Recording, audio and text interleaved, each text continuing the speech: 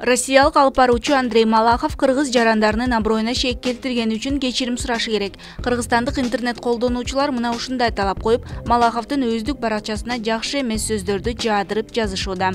Андрей, акыркы берүүдө бүтүндөй кыргыз элинин аброюна шек келтирдиңиз. Сизди терең ойлонгон адам катары кабыл алчу элек. Эмне дейбиз? 10 доллар айлык алгандар жыргаганынан өз үйүнөн алыс жакта эмгектенип жатышкан жок. Сиз мурдуңуздан аркыны көрбөйт экенсиз. Студияда бардар адамдар чогулуп алып, акылдуу сөздөрдү айтып жатасыңар.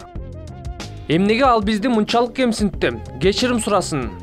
Мындай нааразычылыктар 4 сентябрдагы Россия 1 каналында орус миллионеринин баласы Александр Маруговдун өлүмү тууралуу берүүдөн кийин башталды. Анда Малахов миллионердин баласы балким жол кырсыгынан эмес, буйртма өлтүрүүнүн курмандыгы болгондур деген божомолун айтып, кыргыздардын кыжырына тийген.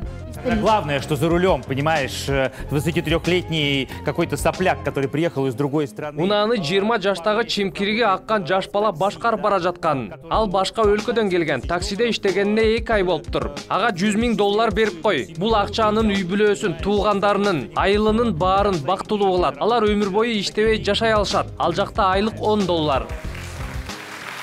Александр Маруговдун өмүрүн алган жол кырсыгы 8 июлга караган түнү Москвадагы көчөлөрдүн биринде болгон. Коопсуздук камераларынын видеосунан мотоцикл менен кетип бараткан айдоочуну такси сүзүп кеткенин байкаса болот. Ал унааны кыргызстандык таксист Исламбек Акбаров башкарып бараткан. Кырсыктын эртеси ал кокустуктан өлүмгө алып келген жол кырсыгы беренеси боюнча 2 айга камакка алынган. Бул кылмыш үчүн мекендешибиз 5 жылга чейин эркинен ажырашы мүмкүн. Ал эми Малаховго каршы флешмоб дагы канча күнгө созулары белгисиз.